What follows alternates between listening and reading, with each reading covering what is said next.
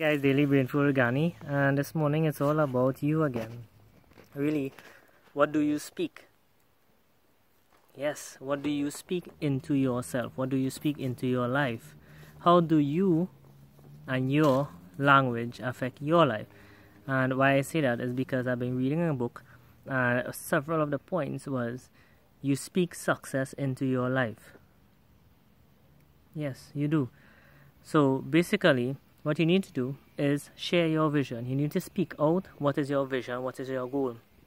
And the more you say it, is the more it becomes embedded into your life. So I constantly share mine and I constantly work on mine. So you guys go out there, share your vision, share it with yourself. If you're shy at first, share it with others, share it with your pets, and more so, share it with everyone as soon as you can. Share your vision and it will empower you. Love you. Daily Brain Food Organic. See you tomorrow.